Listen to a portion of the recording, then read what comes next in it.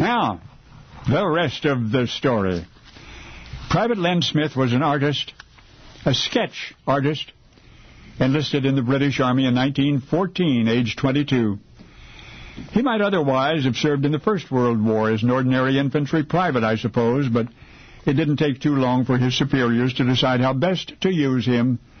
They routinely sent him behind enemy lines with a pencil and paper.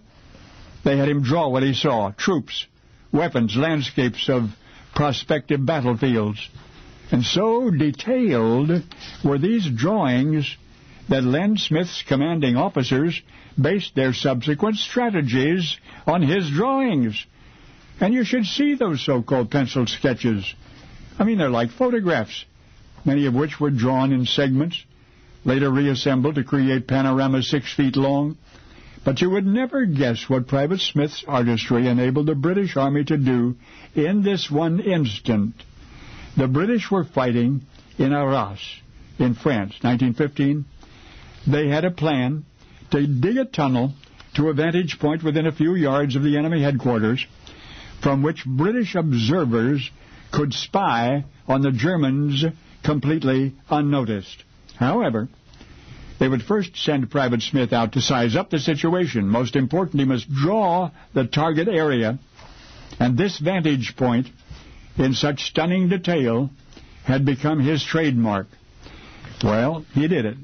He did it. Smith crawled deep into no man's land one night, hid out close enough to the Germans' HQ to get a good look, and drew every aspect of it precisely. And the Royal Engineers took it from there. So how come you never heard of Private Len Smith?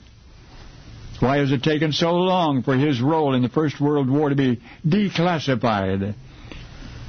Well, whether by accident or design, that young man whose drawings of enemy territory contributed so substantially to victory for the Allies, he came home. He became a commercial artist, a designer of Christmas cards and chocolate boxes he was never officially recognized or decorated, and only just now, 34 years after his death, has he been revealed as the British Army's secret weapon, an earthbound spy satellite, a one-man Google Earth. By the way, that mission that we were talking about earlier, you know what it was that Smith drew? It was a tree, big old tree, 20 feet from enemy heartbeats, which Private Smith illustrated in such detail and so accurately that British engineers were able to make a precise replica out of steel now, but they made it look just like that tree. And one night somehow they sneaked in and removed the real tree. They replaced it with the steel tree.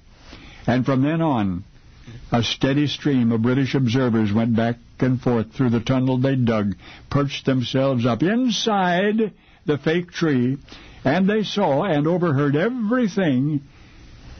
We speak so respectfully of 21st century satellite reconnaissance and military technology, and rightly so. Only now you know the rest of the story.